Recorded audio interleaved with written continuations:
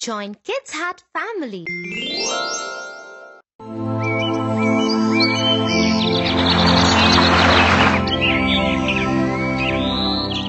Tofu? Tofu!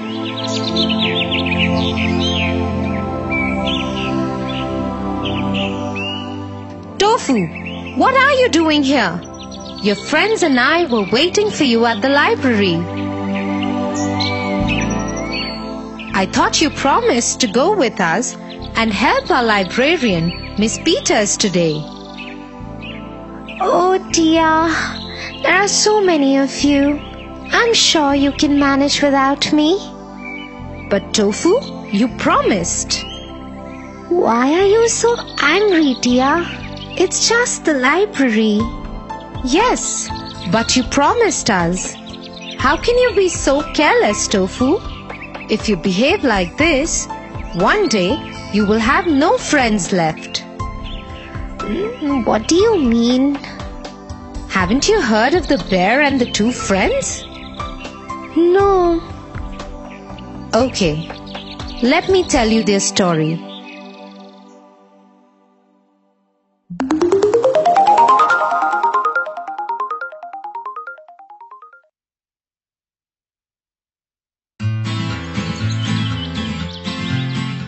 Once upon a time, two friends had to travel through the forest.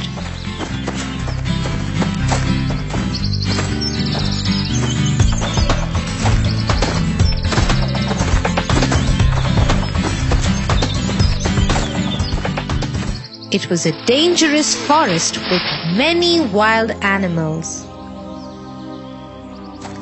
There were lions,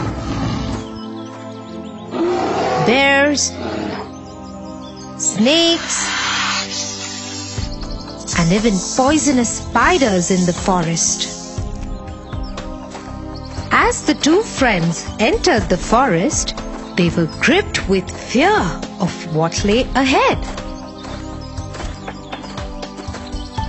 I am so scared. I wish we didn't have to go through this forest. I agree with you, but we have no choice. We must cross the forest to get to the other village. What if we get into trouble? Let's promise that if any of us get into trouble, the other will not run away.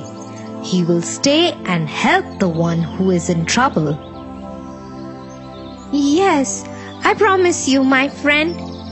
I won't leave you alone if you are in trouble. And I promise you the same, my friend. I am feeling less scared now. I think now I can easily cross the jungle. I'm glad. Let's go.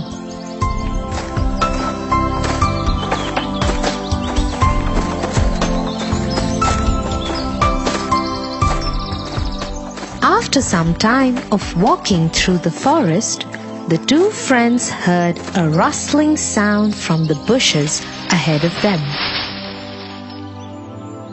They stopped in their tracks. Oh, what do you think it is? Shh! I don't know. I can't see clearly. Can you? Just then, a large dark figure appeared ahead of them. Oh no! It's a wild bear! It hasn't seen us yet. Run! Saying so, the boy climbed up a tall tree and sat on one of its branches. But his friend didn't know how to climb a tree. My friend, I don't know how to climb a tree. Please help me climb it. But the boy on the tree did not help him. He shook his head and held closely to the tree. The boy on the ground saw the bear approaching him and quickly lay down on the spot. He had heard that bears do not attack dead things, so he closed his eyes, held his breath, and lay very still.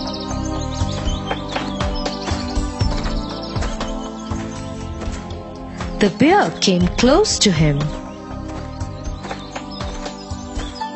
It came close to his head and sniffed and smelled his ear to see if the boy was breathing, but the boy held his breath. Thinking that he was dead, the bear left the boy and moved on.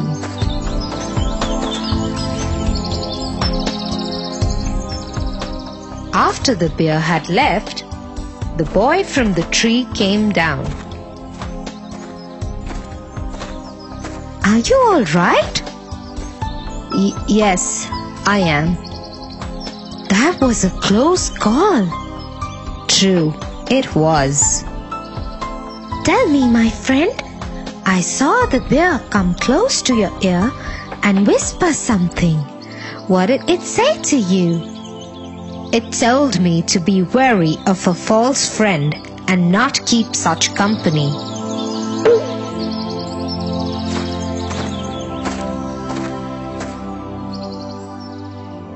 Which of the two friends do you think are behaving like tofu?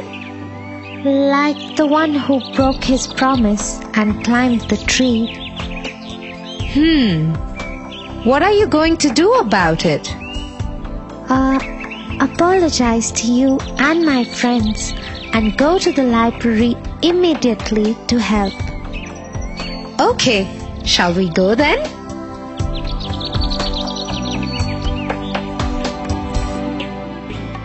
For your favorite rhymes, stories, and more, join Kids Hut family.